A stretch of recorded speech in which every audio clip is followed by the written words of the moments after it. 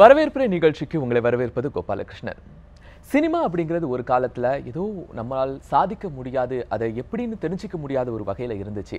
அந்த காலங்கள் திரைப்படங்கள்ல பெரும்பாலான திரைப்படங்கள் பேசாத ஊமி திரைப்படங்களா இருந்துச்சு.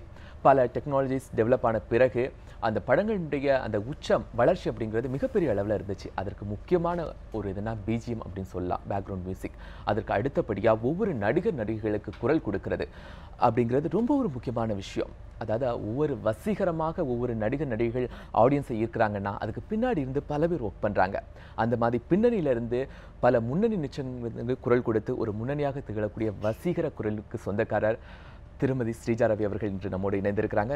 அவங்ககிட்ட பின்னணி குரல் அதாவது டப்பிங் குறித்து பல விஷயங்கள் நம்ம இன்னைக்கு தெரிஞ்சுக்கலாம். ஹை மேம் வணக்கம். வணக்கம். மேம் சினிமாவில் டப்பிங் துறை அப்படிங்கிறது நிறைய பாமர மக்களுக்கு தெரியாத ஒரு விஷயம். ஸோ டெக்னாலஜிக்கலாக தெரிஞ்சவங்களுக்கு மட்டும்தான் ஓ திரிஷாக்கு இவங்க வாய்ஸ் கொடுக்குறாங்களா? தேவயானிக்கு இவங்க வாய்ஸ் கொடுக்குறாங்களா அப்படின்னு தெரியும்.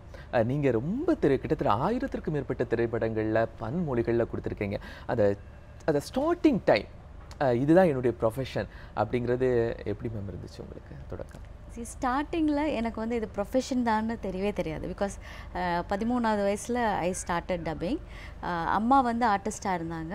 டப்பிங் ஆர்டிஸ்ட்டாகவும் இருந்தாங்க. ஸோ அம்மா கூட ஸ்டுடியோக்கு சும்மா அவங்களோட துணைக்கு போகும்போது இது இது பார்த்து ஒரு அப்சர்வேஷனில் சரி இதை பேபி வாய்ஸ் இருந்தாக்கா ஸ்ரீஜா பேச வைப்போமே அப்படின்னு சொல்லிட்டு தான் ஸ்டார்ட் ஆனது. ஸோ அப்போல்லாம் எனக்கு இது ப்ரொஃபஷனாகவே நான் எடுத்துக்கல.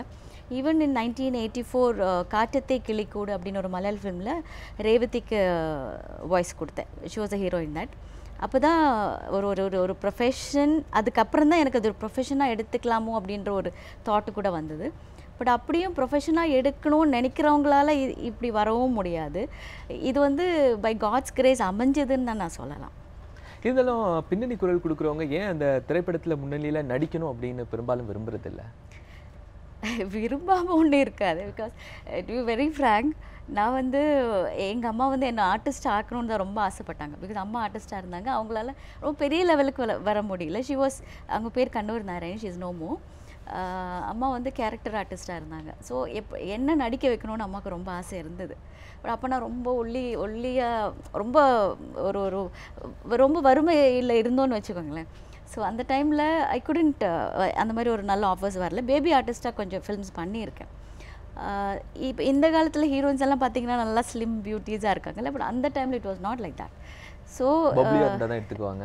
ஆமாம் ஆமாம் அதுக்குன்னு ஒரு ஒரு ஒரு இது இருக்கு இல்லையா? But I was not fit in to that so அந்த மாதிரி எல்லாருடைய ஐ மீன் டப்பிங் ஆர்டிஸ்ட்டுங்களுக்கு அந்த ஒரு ஆர்டிஸ்ட் உள்ளே இல்லைனாக்கா நல்லா பெர்ஃபார்ம் பண்ண முடியாது. திஸ் இஸ் டெஃபினெட்லி ஒரு ஒரு ஒரு நடிகை நடிகைங்க மட்டும்தான் இது பண்ண முடியும். நடிகையோ நடிகர் வாட் எவர் இஸ் அது ஒரு basically it is it is not ஒரு ஆக்டிங் மாதிரி நம்ம மைக்கு முன்னாடி நடிக்கிறோம். அவங்க கேமரா முன்னாடி நடிக்கிறாங்க. ஸோ எல்லார் மனசுலேயும் அந்த ஆசை இருக்கும்னு தான் நான் நினைக்கிறேன். அவங்களால முடியும்னு நான் நினைக்கிறேன். ஏன்னா அதாவது திரைக்கு முன்னாடி ஒரு நடிகை நடிக்கிறாங்க அப்படின்னு சொன்னா பின்னணி குரல் கொடுக்குறவங்க உண்மையாவே அதை நடிச்சாதான் அதை எக்ஸ்பிரஷன் கொண்டு வர முடியும். அந்த ஃபீல்குள்ள நம்ம கொண்டு வர முடியும். அது சாதாரண விஷயங்கள் கிடையாது. இந்த நேரத்துல நீங்க அந்த சின்ன குழந்தைங்கள்ல இருந்தே நீங்க கொடுத்துட்டு இருக்கிறீங்க. இன்னைக்கு மெச்சூர் ஆகி பெரிய பெரிய நடிகைகள் கொடுக்குறீங்க. இன்னைக்கும் அந்த சிறு குழந்தைங்களுக்கு கொடுக்கக்கூடிய அந்த அனுபவம் ஏதாவது இருக்காங்க அதாவது இப்போ படங்களில் யூஸ்வலி அந்த டைம்லலாம் வந்து பெரிய ஆளுங்க when we were kids kids இல்லை நாங்கள் வந்து ஒரு டுவெண்ட்டி டுவெண்ட்டி ஃபைவ்லாம் இருக்கும்போது கூட பேபி ஆர்டிஸ்ட் அவ்வளோவா இல்லை. பட் இப்போ வந்து ரொம்ப திறமசாலிங்க வ- நாலு வயசு மூணு வயசு பசங்களே பேச ஆரம்பிச்சிருக்காங்க. So the trend has change இப்போ ஒரிஜினல் ஆளுங்களே வச்சு பேசுகிற பேச வைக்கிறாங்க குழந்தைங்கள வச்சு. அந்த டைம்லலாம் லைக் மலையாள ஃபிலிம்ஸில் baby Shalini baby Shamili master Vimal Prashob அந்த மாதிரி பசங்களுக்கெல்லாம் வந்து I have done a lot of films so அந்த மாதிரி ஐ திங்க் அது அது எனக்கு ரொம்ப பிடிச்ச ஒரு விஷயம் குழந்தைங்களுக்கு பேசுறதுன்னா. மேம் நம்ம ஆடியன்ஸ்க்காகவும் நீங்கள் அந்த குழந்தைங்க எப்படி பேசுவாங்க? நான் ஒரு சில கொஸ்டின்ஸ் கேட்குறேன் uh, நீங்கள் அதை எப்படி பேசுவீங்க அப்படின்னு ட்ரை பண்ணுறேன் okay because it's long time okay உன் பேர் என்னம்மா? என்னம்மா? சீஜா என்ன படிக்கிற நீனு? ஓகே ஜி ஓகேஜி யூகேஜி எந்த ஸ்கூல்ல வெட்டி வெட்டி ஆயிச்சே ஓ ஸ்கூல் சூப்பர் உனக்கு பிடிச்ச மிஸ் பேர் என்ன? பிங்கி மிஸ் பிங்கி மிஸ் ஏன் அவங்கள உனக்கு ரொம்ப பிடிக்கும்? அவங்க அழகா குண்டா சின்ன முடி வச்சுட்டு அழகா இருப்பாங்க. குண்டா சின்ன முடி வச்சிருந்தா உனக்கு பிடிக்கும்? ஓகே ஓகே ஓகே உனக்கு பாட்டு பாட தெரியுமா? பாடுவேன்? என்ன மாதிரி பாட்டு பாடுவேன் நீனு? சிம்மா பாட்டு. சினிமா பாட்டு? என்ன சினிமா பாட்டு? எனக்கு ஒன்று பாடு பார்ப்போம் அது முகுந்தா முகுந்தா. அது பாட தெரியும். ஏய் பாடுமா நீனு? எனக்கு வெக்கமா இருக்கும். ஏய் உனக்கு நான் சாக்லேட் கொடுப்பேன். பாடுமா. சாக்லேட்லாம் வேண்டாம் அப்போ என்ன வேணும்? சாக்லேட் சாப்பிட்டா பல்லு கெட்டு போயிடும். அம்மா சொல்லியிருக்காங்க. வேற என்னெல்லாம் சொன்னாங்க? சாக்லேட் சாப்பிடவே கூடாது சொன்னாங்க. ஓகே ஓகே சரி உனக்கு வேற ஏதாவது வாங்கி கொடுக்குறேன்? பட் பாட்டு பாடணும். நான் கேட்ட தருவீங்களா? கண்டிப்பா. எனக்கு அந்த ப்ளூ டை பிடிச்சிருக்கு அது தருவீங்களா? இந்த ப்ரோக்ராம் முடிஞ்சோன்னு உனக்கு கொடுக்குறேன் ஓகேயா சத்தியமா? கண்டிப்பா. அப்படி ஏமாற்றக்கூடாது ம். மாற்ற மாட்டேன் ஓகேயா ஓகே முகுந்தா முகுந்தா. கிருஷ்ணா முகுந்தா முகுந்தா வரந்தா வரந்தா. அது தருவீங்கள்ல அவன் மறந்தா வரந்தா. அவன் இந்த வாச்சிலி வாசுதேவனே உன்னை வந்து அவன் வேர்ட்ஸில் மறந்து போச்சு. அது கொடுத்துட்றீங்களா?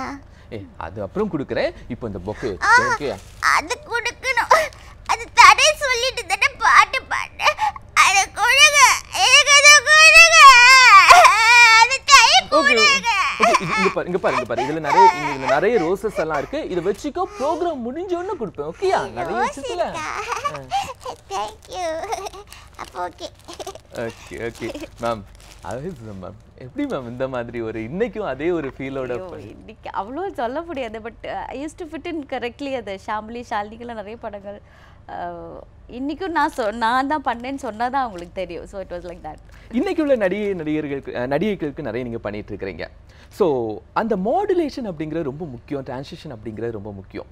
ஸோ அதெல்லாம் நீங்க எப்படி மேம் ஃபாலோ பண்றீங்க? சரி இன்னைக்கு இருக்கிற நடிகரில் ரொம்ப கம்மியாக தான் நான் பேசிகிட்டு இருக்கேன். பிகாஸ் நான் பேசுனது மோஸ்ட்லி ஷாலினி தேவயானி லைலா சிம்ரன் அந் அந்த ஒரு பீரியடில் ஐ வாஸ் டூயிங் வெல் இப்போது சி மாடுலேஷன் வரும்போது இட் இஸ் த சேம் நீங்கள் ஜஸ்ட் ஏதாவது ஒரு ஒரு இது சொல்லுங்களேன். என்ன ஒரு டைலாக் மேம் ஆக்சுவலாக நான் என்ன சொல்கிறேன் ஏய் உனக்காக நான் எவ்வளோ நேரம் வெயிட் பண்ணுறது ஒரு முறை சொன்னா உனக்கு உரைக்காது? நீங்களே நல்லா பேசுகிறீங்களே ஓகே. டேய் உனக்காக நான் எவ்வளோ நேரம் வெயிட் பண்ணுறது உனக்கு எவ்வளோ எவ்வளோ தடவை சொன்னாலும் உரைக்காது? அப்படின்னு கேட்குறது what you want my to do ஒரு ஒரு சேடாக கேளுங்க. டேய் உனக்காக நான் எவ்வளோ நேரம் வெயிட் பண்ணுறது உனக்கு எவ்வளோ தடவை சொன்னாலும் உரைக்காதா? ஒரு லவ்வபிள் மூடாக பேசுங்க.